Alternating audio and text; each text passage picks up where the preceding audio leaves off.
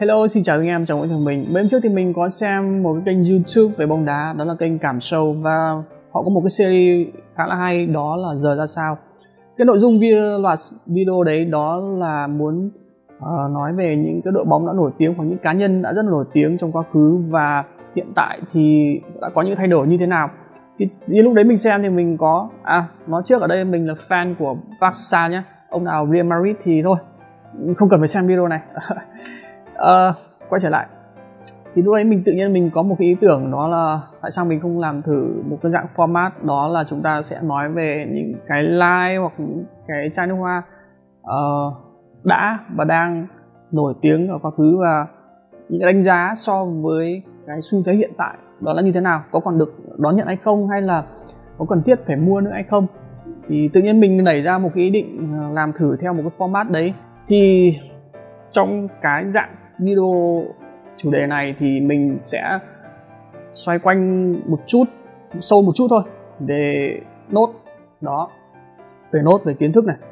Và cái đánh giá hiện của mình hiện tại so với cái xu thế hiện nay nó có còn là đáng mua hay không?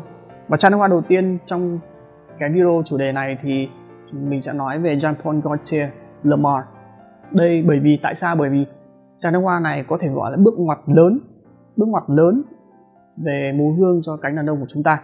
Do vậy, trong video đầu tiên này, mình sẽ nói về Lemar mình sẽ nói về ví dụ như chủ đạo. Phối mùi của chai nước hoa này là như thế nào? Mình sẽ nói sâu một chút về cái nốt của nó và đánh giá hiện tại là chai nước hoa này sẽ là như thế nào. Ok. Và nếu như có thể thì mình rất hy vọng các anh em làm ơn ủng hộ mình mùa hè đang đến rồi và chắc chắn là chúng ta sẽ cần những cái mùi hương dành cho mùa hè.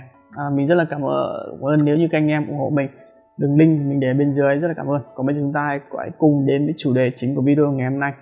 Jean Paul Gaultier Lamar là ra sao ok let's go. Trước tiên chúng ta hãy cùng nói về lịch sử ra đời của chai nước hoa Lamar nó được ra mắt vào năm 1996 và được pha chế bởi Mason Francis Cauchan một có thể gọi là một master perfumer. Khi mà ông pha chế mùi hương của chai nước hoa này thì ông lấy cảm hứng những cái mùi trong tiệm cắt tóc nam hay còn gọi là mùi barbershop đó là những cái mùi ví dụ như kem rau uh, cạo râu ấy đó. Do vậy khi mà ông pha chế ra lamar ông đã sử dụng hai nốt nguyên liệu có thể gọi là cơ bản nhất đó là hoa oải hương và vani nhắc đến hoa oải hương thì có hai điều chúng ta cần nên biết đó là bất cứ khi nào mà chúng ta tìm hiểu về những cái mùi hương của barbershop hay còn gọi là mùi hương của tiệm cắt tóc nam, thì hoa hải hương là một nguyên liệu cực kỳ quan trọng, có thể gọi là về đa phần, về cơ bản là để tạo nên cái mùi hương của barbershop thì họ thường sử dụng hoa hải hương. Và cái thứ hai, đó là với cái kinh nghiệm mùi của mình thì hoa hải hương nó thường chia ra làm hai hai hướng. Ví dụ khi mà nó kết hợp cùng với những cái nốt nguyên liệu canh đồng nhẹ, ví dụ ở đây như là tiêu, vetiver hoặc là bạch đậu khấu, thì nó sẽ tạo ra một cái mùi hỏa, hoa, hương khô. Nó giống như kiểu chúng ta khi mà ép ở trong trang hoa và trang giấy và khi chúng ta mở ra thì cái mùi nó hơi khô và nó hơi phấn một chút. Cái mùi này nếu như các anh em muốn biết thì chúng ta có thể mua những cái tinh dầu hoa oải hương mà hay bán ở ngoài cửa hàng shop ấy, để về chúng ta đốt. Thì khi chúng ta ngửi thì chúng ta sẽ cảm thấy nó như thế, nó hơi khô và hơi phấn một chút và một nhánh khác mùi khác đó là khi nó kết hợp ví dụ như cùng với vani đó cái, cái nốt ngọt ấy thì hoa cải hương nó, nó rất là mềm mại và mặc dù nó hơi nồng một chút thế nhưng nó nó lại rất là mềm chứ nó không khô như khi mà kết hợp cùng với những cái nốt cay nồng. Đấy là với cái kinh nghiệm quỹ mùi của mình nhá chứ mình không phải mình không bảo đấy là cái chân lý mà ở đây là mình đang nói về cái kinh nghiệm khi mà mình mình, mình tìm hiểu và mình đúc kết thì mình nhận ra là như thế. Ví dụ như ở đây chai Prada Luna Rosa một cái mùi hoa oải hương giống như là cái cánh hoa mình ép gấp sách ấy. ở đây kiểu như thế.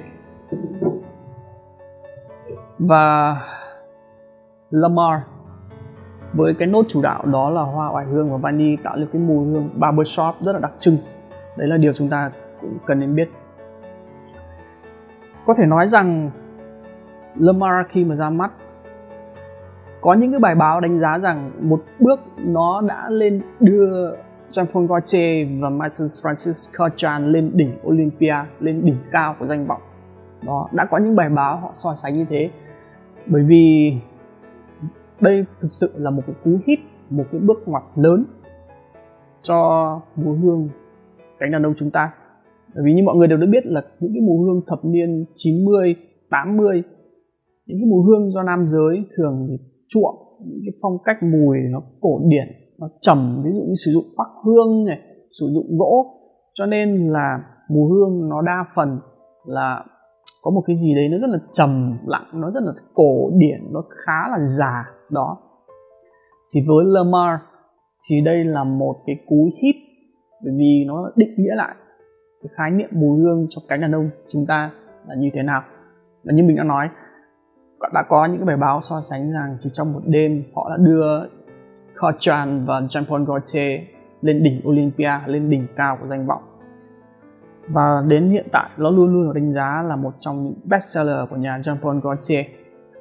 Luôn luôn uh, nằm trong top những nước chai nước hoa bán chạy. Và đã có rất nhiều những cái chai nước hoa ví dụ như là Fleur du Mai là nạn nhân của Lemay Lemar bởi vì thật ra là đây cũng không phải là một thông tin đã được kiểm chứng, mình không rõ. Thế nhưng có những thông tin rằng bởi vì Vladimir doanh thu bán ra trong 2 năm nó tồn tại thì doanh thu nó có phần nhỉnh hơn so với Lamar và đấy là cái nguyên nhân Vladimir đã bị discontinue, đã bị ngừng sản xuất bởi vì đây là biểu tượng của nhà GPG trong Paul Gaultier họ không muốn là bị lấn át bởi một sản phẩm khác. Thì tất nhiên đấy cũng là một cái thông tin chưa được kiểm chứng. Nhưng ở đây thì mình chia sẻ để các anh em cùng tham khảo mà thôi. Thì chúng ta cũng đều nên biết rằng không đây là một biểu tượng của nhà nước hoa này. Và sau hơn 20 năm là 1996, 2006, 2016 hơn 20 năm chúng ta hãy cùng nhìn lại Lemar hiện tại có cái gì thay đổi hay không? Điều đầu tiên đó là reform mùi. Đấy là một điều chắc chắn chắc chắn chúng ta không thể tránh được. Reform mùi là điều chắc chắn. À, bản thân mình đã từng được gửi cũng không hẳn là bản hiện tại mà cách đây khoảng một năm hơn một năm thì mùi hương nó đã có cái sự thay đổi khá là lớn. Nó không còn cái sự nồng nàn nữa mà về hiệu năng mùi về mùi hương nó, nó có cái sự thay đổi. Tất nhiên ở đây thì phải nên hiểu rằng bất kỳ một chai nước hoa nào hoặc bất kỳ một sản phẩm nào chúng ta cũng cần phải có cái sự thay đổi. Để làm sao mà bắt kịp với xu hướng hiện đại. Ờ, chúng ta cảm thấy thích chai nước mùi hương cũ thì không có nghĩa rằng tất cả mọi người đều thích. Bởi vì cái uh, xu hướng mỗi người mỗi một năm mỗi một khoảng thời gian nó sẽ thay đổi khác nhau. Do vậy là mình không thể kết luận rằng là cái reform mùi này là tốt hay là xấu mà mình chỉ có thể nói rằng đã có cái sự thay đổi về công thức đó. Còn tệ hay là tốt thì cái đấy là đánh giá quan điểm của mỗi người. Điều đầu tiên. Ờ, và đến thời điểm hiện tại có thể nói rằng Lerma vẫn là một cái mùi hương độc so với cái phân khúc phổ thông hoặc thậm chí là đắt tiền luxury.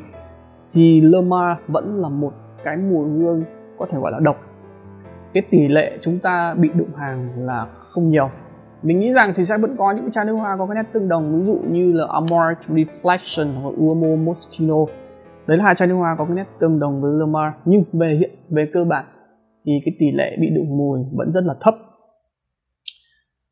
Điểm thứ ba khi mà chúng ta cùng nhìn lại Lamar cho đến thời điểm hiện tại, đó là nó vẫn là một cái mùi hương thể hiện cái cá tính của chúng ta.